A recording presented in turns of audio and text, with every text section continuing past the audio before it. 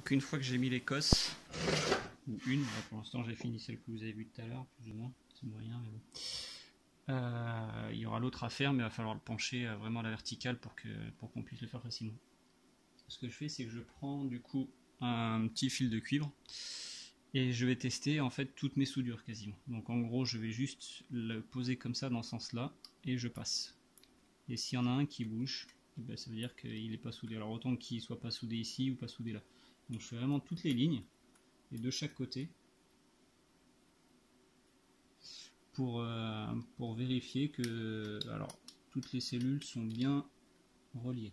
Alors après, si elles sont pas reliées, c'est pas un problème de sécurité, hein, on est bien d'accord, c'est juste que bah, y aura une cellule qui, euh, qui ne produira rien du tout parce qu'elle n'est pas connectée, hein, euh, tout simplement.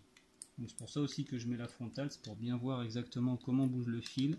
Il y a aussi le bruit que vous aider quand ça fait des, ça fait des petites ça fait des petits bruits de, fil tendu, donc euh, c'est pas de la guitare, hein, mais.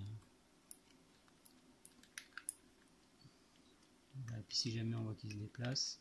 Alors j'en ai j'en ai quelques-uns, hein, généralement sur une face comme ça, euh, on a une ou deux soudures en moyenne qui, qui, n'a pas pris. Parce que des fois on voit bien l'étain sur le fil de cuivre au-dessus, mais le fil est juste posé dessus.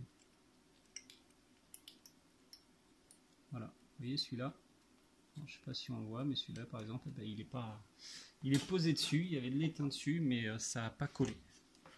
Donc ça ne va pas. Donc on refait. Voilà. Toujours pareil, a pas besoin de faire des gros pâtés. Si on peut éviter. Voilà, il ne bouge plus. Donc voilà, ça permet de vérifier. Vous faites les deux faces si jamais vous la faites en deux morceaux comme ça, avec, une, euh, avec euh, du PLA comme, euh, comme j'ai fait à l'imprimante 3D, les raccords ici à la colle à chaud, c'est pas non plus des trucs collés à la super glue.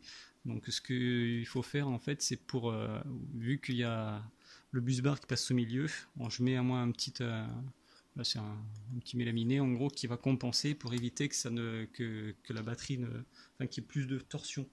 C'est juste pour éviter qu'en fait euh, ça travaille dessous, pour qu'elle reste le plus à plat possible. Voilà, donc ben, sur celle-là, il reste encore une cosse, et puis à vérifier l'autre côté, et puis on pourra la boulonner.